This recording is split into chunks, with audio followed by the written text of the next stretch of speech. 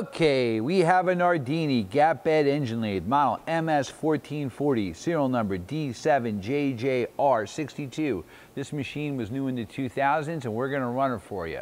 Machine has 14 inch swing with 19 inch swing in the gap by 40 inch centers.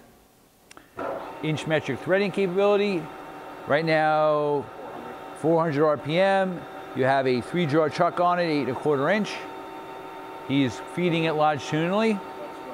No, I'm sorry, he's threading. He engaged the half nut. All right. Now he's now he's feeding it longitudinally. All right, kicked it out, changing direction, feeding the cross feed. Okay. So you saw the thread and feed, that's the compound. The ways are nice. We're gonna run some other speeds for you.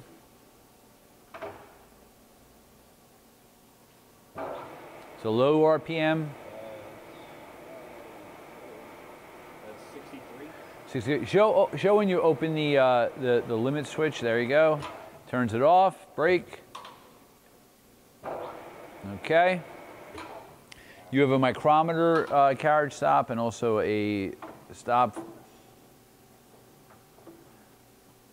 for the carriage. Two-speed motor.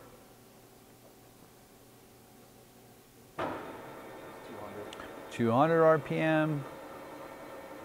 Again, the machine does have a steady rest. Uh, on the other side, you have a Tailstock, which has a number three Morse taper. 1800 RPM.